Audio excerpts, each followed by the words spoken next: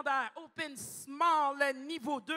La prochaine équipe représente leur école des pionniers. Mesdames et messieurs, on fait du bruit tout le monde pour les Typhons!